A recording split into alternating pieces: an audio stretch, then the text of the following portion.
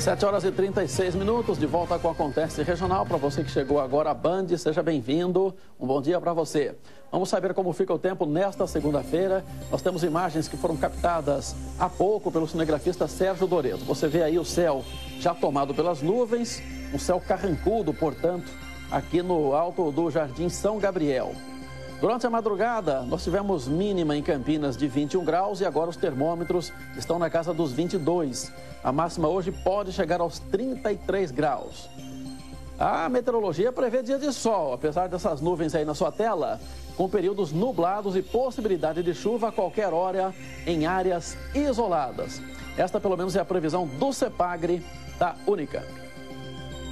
E olha, produtores rurais da região de Campinas estão correndo contra o tempo para conseguir autorização do uso da água nas lavouras. Quem não estiver com a documentação em ordem pode ser multado. A maioria das autuações até agora é por falta de outorga.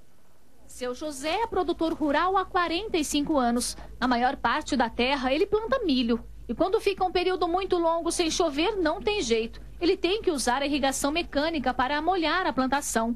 Toda a água é retirada de três represas iguais a esta que ele tem no sítio. Só que para usar essa água, o agricultor precisa de uma outorga do Departamento de Águas e Energia Elétrica do Estado de São Paulo. A autorização estipula, por exemplo, a quantidade que pode ser retirada. Para cumprir a lei, seu José deu entrada nos papéis no final do ano passado e ainda aguarda o processo. Temos aí 700 dias para legalizar, para legalizar isso daí, para a gente poder depois pagar a outorga. Enquanto a outorga não fica pronta, ele vai trabalhando com uma autorização provisória. Mas nem todos utilizam a água com a documentação em dia. Segundo o sindicato que representa a categoria, a maioria dos produtores rurais da região metropolitana de Campinas está irregular. O produtor rural ele tinha um certo receio de criar essa declaratória porque envolve muitas questões ambientais.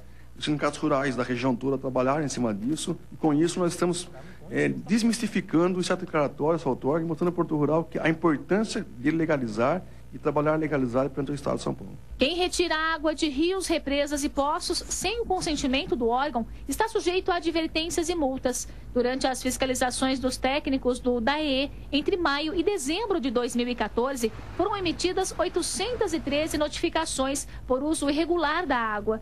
Mais da metade, 543 delas, foram por falta de outorga em áreas rurais. A expectativa do sindicato do setor é que até o final deste ano, a maioria desses trabalhadores esteja com a documentação aprovada para conseguir utilizar a água dentro das normas. A regularização ajuda também no controle do uso da água e do nível dos rios. O DAE preconiza que, que nós precisamos ter, ele tem que saber quem, quem nós somos, quantos somos e quanto gastamos de água por dia. Esse é um problema do Brasil, né? Tudo tem legislação. É a legislação mais avançada do planeta. Mas não há fiscalização, ninguém né, leva a sério, todo mundo faz de conta que compra, então é estabelecimento sem alvará. Nesse caso aí, é, é o pessoal que utiliza a água do rio sem outorga e só quando dá um rolo, dá um problema, no caso aqui, a crise hídrica, aí é que vão verificar o que está acontecendo, se tem gente pegando água sem autorização, coisas desse tipo. Vamos aos destaques do Grupo Bandeirantes de Comunicação. Começamos com a edição do Jornal Metro. Bom dia, Cena. Bom dia a você que está em casa. Claro, Cena, hoje o Metro com muitas informações e principalmente tudo sobre a primeira rodada do Campeonato Paulista, falando sobre os times da capital. Em Campinas, aqui a Ponte perdeu para a Portuguesa na primeira rodada. O Birubiru fez uma grande partida, mas a Ponte foi derrotada. Guarani também a gente falou da vitória do Bugre, da vitória do Red Bull e tudo mais. Anderson Silva vencendo, enfim, tudo sobre esporte hoje no Metro e notícias também de Campinas, do Brasil e do mundo. Então não perca, pegue o seu Metro, você que está em casa, você não vai se arrepender. Um abraço, Cena. Até a próxima. Ok, Jacomélio, obrigado. Agora vamos à Rádio Bandeirantes AM 1170. Bom dia, Gustavo Carvalho.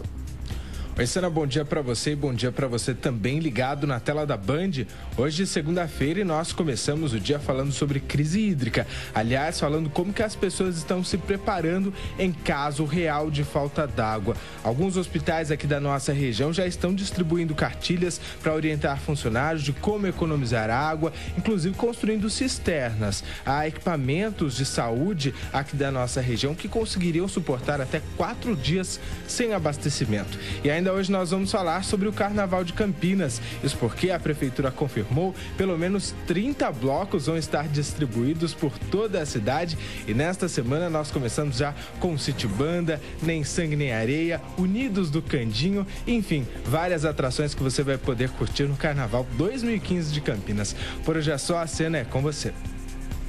Ok, Gustavo, obrigado. Olha, moradores da região de Campinas reclamam dos atrasos frequentes nas entregas dos Correios. A situação ficou pior depois que a empresa demitiu mais de 400 trabalhadores terceirizados. Todos os dias, a dona de casa verifica a caixa de correio e nada. Durante o mês de janeiro, ela não recebeu nenhuma correspondência e teve que correr atrás para não pagar os boletos com juros. Dor de cabeça, tem que correr atrás, internet, pegar os códigos de barra. É difícil, né? O problema começou em dezembro com atrasos nas entregas. A vizinha também reclama. Chega a conta atrasada e aí complica tudo, né? Segundo o Sindicato dos Trabalhadores dos Correios, a situação piorou depois que 432 funcionários terceirizados foram demitidos no início de janeiro. Agora, Campinas conta apenas com 500 contratados, quando o ideal seria duas vezes mais. Na região metropolitana, o cenário não é diferente. Nova Odessa e Jaguariúna, cidades com cerca de 50 mil habitantes, ficaram com apenas cinco carteiros cada. O déficit chega a mil profissionais. É uma política que a empresa vem aplicando, com cada vez mais sucateando a empresa, de, diminuindo seu quadro funcional, acarretando esses transtornos. Os Correios informaram que estão aplicando um plano de contingência na região metropolitana de Campinas, com ações de realocação de empregados de outros municípios para apoiar na distribuição, realização de serviço extraordinário, trabalho aos finais de semana e mutirões. A empresa nega ainda que o déficit na região metropolitana seja de mil trabalhadores. Quando o sindicato apresenta os dados reais, os números, a empresa vai lá, ela relata o quadro total de uma unidade. Mas, na verdade, os números que ela apresenta dos funcionários não é o que realmente faz as atividades que está lá. Então, quando ela fala que o quadro funcional está 35, está completo, na verdade é para ter 50. Porque os, os profissionais têm atividades diferentes nas unidades. A solução está na contratação de pessoal, mas não há nenhum concurso previsto. A recomendação do sindicato é para que os moradores que perceberem os atrasos procurem o centro de distribuição mais próximo para pegar as correspondências.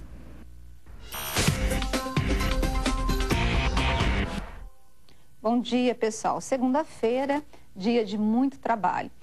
E os vereadores de Campinas terminaram agora o recesso e logo mais à noite eles têm a primeira sessão ordinária uh, da cidade. E o que, que eles vão discutir? Nada interessante. São projetos de nome de rua, não tem nenhum pro, um projeto assim relevante que eu possa discutir com vocês aqui.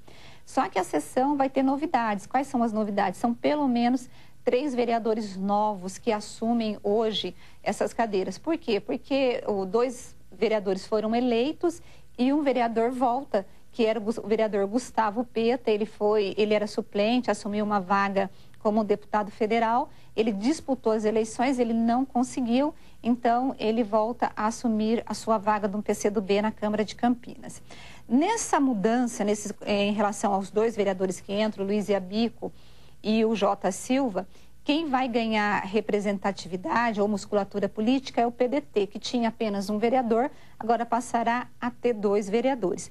Quem perdeu foi o PRB. Perdeu em partes. Ele deixa de ter uma representatividade aqui em Campinas, não vai ter mais nenhuma cadeira na Câmara, mas ganha lá na Câmara Federal. Fora isso, esta vai ser a primeira sessão dirigida pelo vereador Rafael Zimbaldi, que foi eleito presidente agora em dezembro. Eu conversei com o Rafael, ele disse que ele prevê que esse ano vai ser um ano tranquilo, de muito debate, mas sem grandes polêmicas. A briga mesmo só deverá acontecer no ano que vem, que é o ano quando acontecem as eleições municipais, e aí os vereadores que hoje são da base de governo, quando tem né, as alianças para disputa para a Prefeitura de Campinas, então saem da base de governo e começam a fazer oposição ao prefeito. Gente, por enquanto é só. Lembrando, então, que os vereadores voltam a trabalhar hoje. Até.